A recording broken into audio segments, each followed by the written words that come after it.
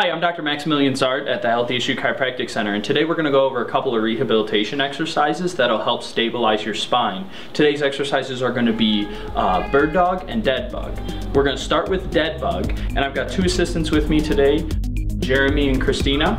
So guys, go ahead and lie on your back. And the first cue that you want to have is you want to make sure that your abs are contracted to make sure that your low back is pressed against the floor. If I can fit my hand underneath your low back, it's not quite contracted enough. So that's the first part. We always want to make sure we're starting from a proper point. Now from here, it's just gonna be a series of raising your arms and legs in different coordination, but I'm gonna go through it for you.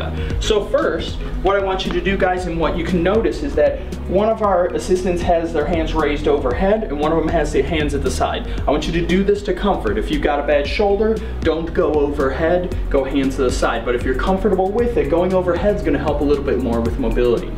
So guys, what I want you to do first is just raise your left arm up in the air keeping that back flat, perfect. Relax that down. Now go right arm up in the air, perfect. Now relax that down. Now go ahead and bend at the knee and bring your left leg up. Perfect, keep that back flat against the ground. So that's a cue you always wanna remember. Relax that down, right leg up, Perfect, and we're making sure that that back is flat against the ground. Good, go ahead and relax. Now here's where a little bit of coordination comes in. I want you to raise up your left knee and your right hand at the same time. So go ahead and do that, guys. Perfect, and relax. And then I want you to raise your right knee and your left arm. And hold, and relax. Now for the last portion, I want you to raise both legs and both arms at the same time while keeping your back flat against the ground. So go ahead and do that for me, guys. And keeping that back flat against the ground. Keep holding. Now for each hold, you're gonna wanna hold for approximately 10 seconds or so. I kind of rush through them just to give you an idea of each movement, this being the culmination, and this is why it's called dead bug. Perfect, you can relax now, guys. Now I want you to go into a table position with your heads down at that end, and we're gonna go over bird dog.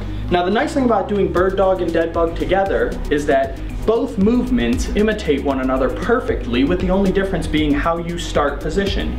You want to have a nice flat back here so you want to have your abs and your core real tight. So I want you to be drawing in from the external obliques as well as the abdominals okay? And that's perfect, that's a perfect start. Now I also want you to retract your chin, just like you can see Jeremy doing here and Christina doing here. If your head's hanging or sagging in between your arms, you're not doing it quite right because then I'm gonna have to do a little bit extra work on your neck. So same deal guys, I want you to raise your left arm, just your left arm, straight out. Perfect. And relax. Now your right arm, straight out and keep it there. The reason they call this bird dog is because it appears that you're pointing just like a dog that you take hunting with you when you're hunting birds would point towards the bird that you shot down. Relax your arm down. Now I want you to raise your left leg out. And as you raise your legs out, you want to kick it back and you want to point your toe back. And relax. And now right leg back. Keep that core tight, external obliques tight and relax. And you can see two different versions where Christina is kind of parallel with her back. Jeremy can actually extend his legs up even a little higher. If you have the mobility, that's fine. Now it gets complicated. I want you to raise your left arm and your right leg at the same time. Keep a nice tight core. If you don't keep a tight core, you're gonna notice you're gonna wobble back and forth. And relax. And now right arm, left leg. Keep a nice tight core. That's the key. If you notice at home that you're wobbling a lot, it's because you're probably not tightening your abs. Relax. And that's the end. You don't do that final position that you do in dead bug.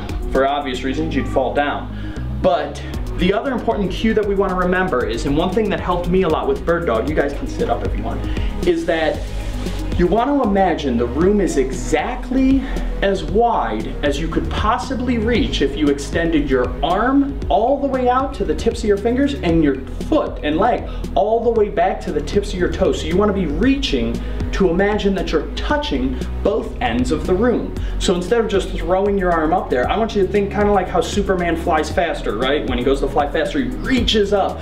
That's how I want you to think of extending your arm or extending your leg back, just like you're trying to touch either side of the room to the best of your ability.